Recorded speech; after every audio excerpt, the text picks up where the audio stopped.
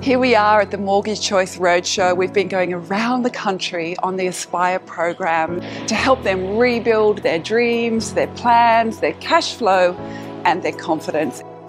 Or my personal favourite between Zoom meetings, when there's just a little smidge of time, is this one. I want you to do it with me. You ready? Hands up, hands up. Give me some jazz hands again. Clap three times and say, ta-da!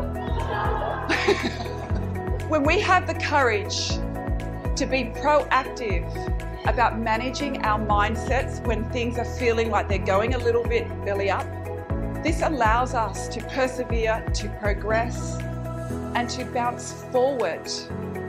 What is it that you can metaphorically burn? What is it that you can let go of?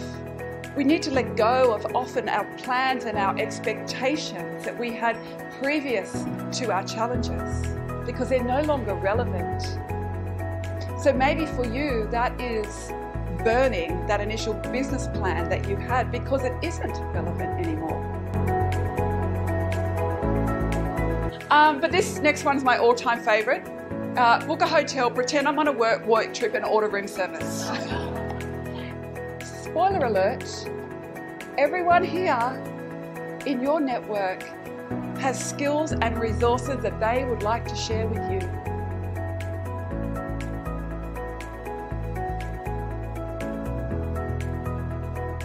Adversities come in all shapes and sizes, but so do our opportunities. And if we can find the opportunities in our challenges, that is where the magic happens.